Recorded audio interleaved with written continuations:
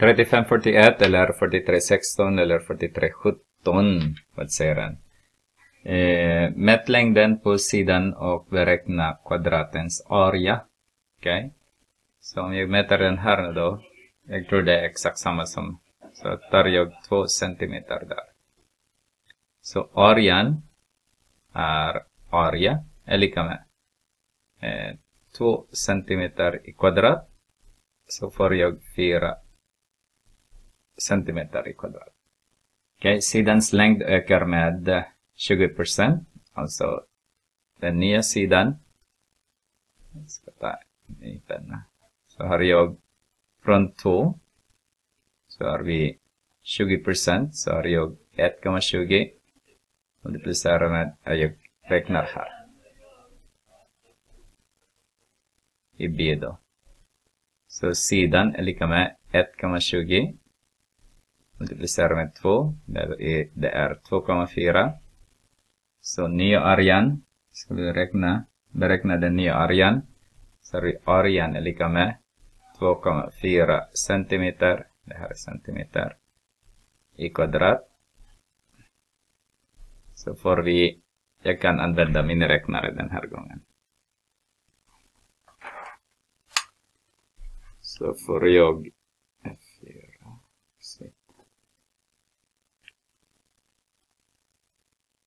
2,4 upphöjt till 2. 5,76. 5,76 kvadratcentimeter. Okej, okay. ska vi titta på C. Den ser C. Här blev det 2, vad blir det? 2,4 här.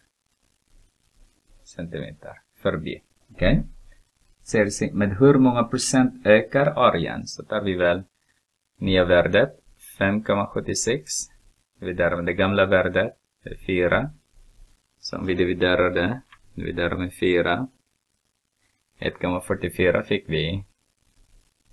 Det betyder att den har ökat med 44 procent. Alltså från 100 procent är också är 144 procent så från 100% till 144% så det, den har ökat med 44%.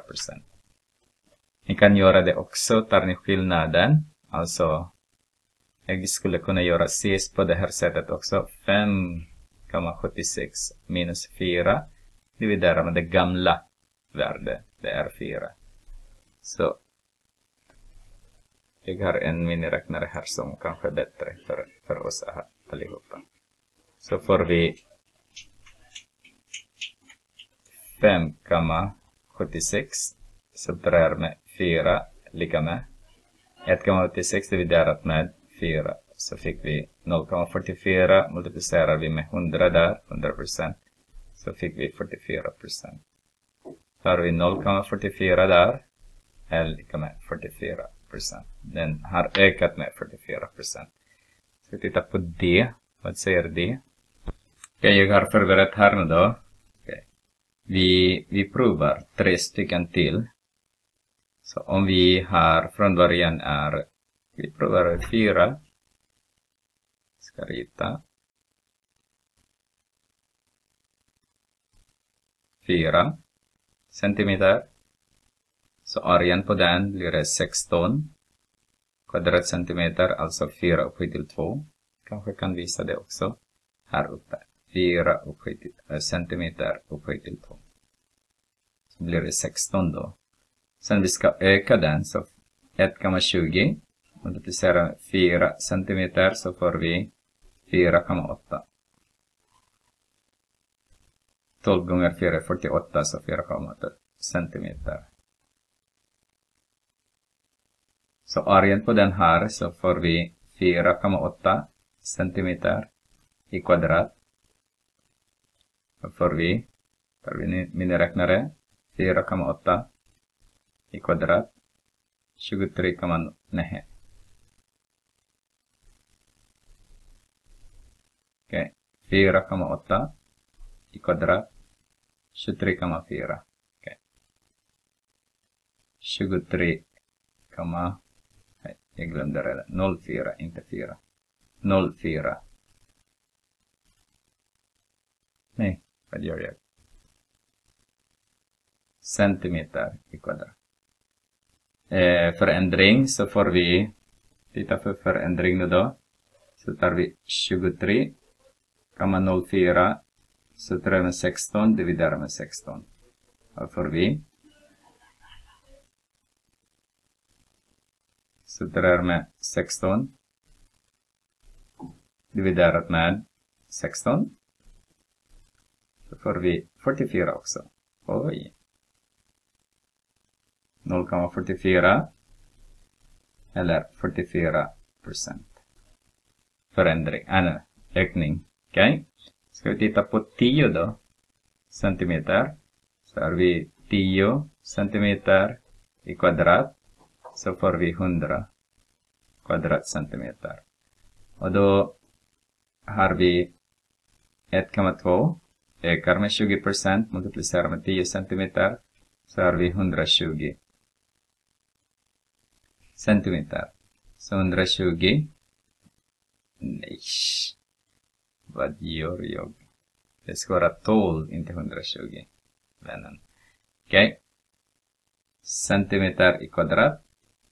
Så får jag 144 kvadratcentimeter som är ny area då. Så har vi 144 sitter här med eh, 100 dividerar med 100 så får ni att det, det får ni 44 dividerat med 100 blir det 0,44 också. Eller 44 procent. Ja, det visar sig att det är hela tiden 44 procent. Ökar det, det spelar ingen roll vilken. Eh, försök, säger den då, bevisa att din slutsats alltid gäller. Ska vi bevisa här nu då. Ska vi x här nu då så har vi x i kvadrat, det är vår nya.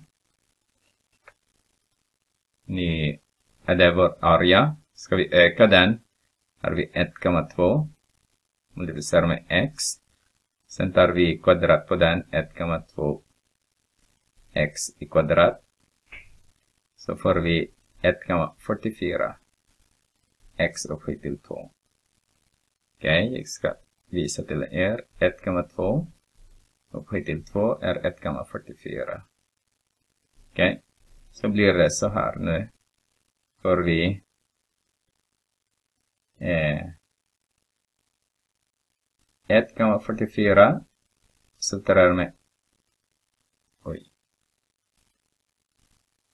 x upphöjt till 2 så tar jag med x upphöjt till 2 dividerat med x upphöjt till 2 så får jag 0,44 där.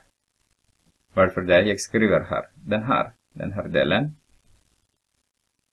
Jag skriver någonstans här. Okej? Okay? Så med faktoring så får vi att vi har x upphöjt till 2.